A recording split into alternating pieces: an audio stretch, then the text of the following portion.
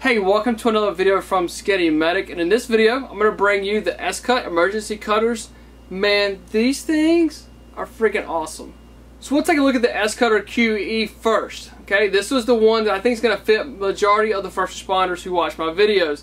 The handle here is plastic, but it's still, it's a nice sturdy plastic, okay? I don't think you're going to break it, especially since you're not probably pulling from this direction, you're pulling this way. So, super strong. You do have the cutting wheel here, and it's replaceable. So we'll talk about that and take a little closer look at it now. A little bit closer look here at the QE before we cut something up with it. Uh, it is plastic, it's about seven and a half inches in length and weighs about two ounces. This is your blade here, which is super sharp. It doesn't turn, it's still fixed. So what you do is you use it, and then if it starts getting dull, you see it's not cutting as sharp as it normally does, then you rotate the dial until the next section, and you use it again. And then you keep turning it and turning and turning it until you get to the end and that's when it needs replacing with a blade, which you can buy replacement blades for. So now let's take a look at the S-Cut 501. Now this thing, she's ridiculous. So it's anodized aluminum, super strong, got a little extra uh, handle here for strength, but man, if it'll slide through here, you can cut it. So taking a closer look at the 501 now, this is anodized aluminum.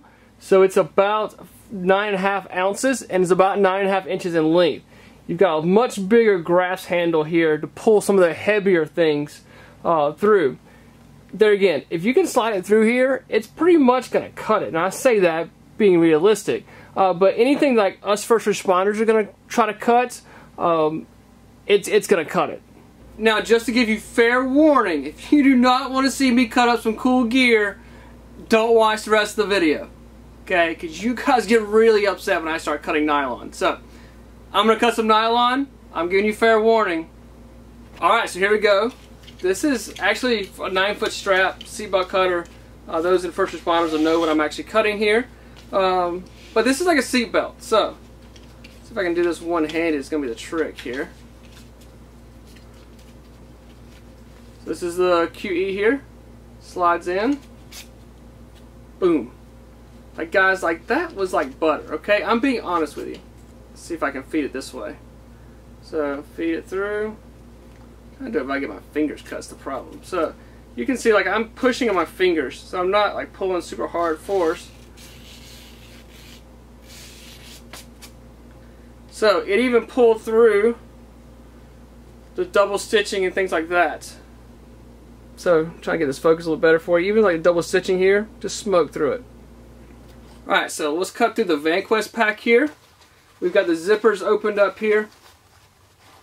Hold it without cutting myself. Okay, so we ripped right through the zippers, which is what is typically a problem when you're using a cutter tool, is trying to get through the zippers. So no problems there. Cut through the back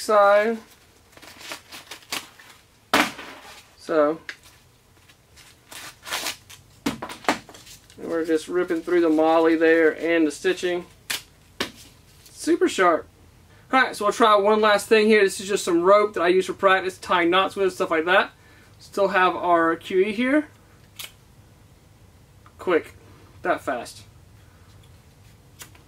That's pretty cool. So I think it's to say, since we can cut through a 1000 or 500D Cordura fabric and cut through seatbelts, that cutting through blue jeans, shirts like this, would be absolutely no problem cutting through. Alright guys, this is going to be the one you're going to get really mad about. It's showing camera, but firefighter coats, bunker gear. So, you guys know this is not the cheapest demo here, but I'm going to use the big one this time. Like this is some thick material. Um, never tried to cut bunker gear before. So let's try it. Alright, we rip through that part. Rip through that part. Let's see if we can rip through the intersection now. Oh yeah. Look at that. Bloop. We are ripping through bunker gear. So,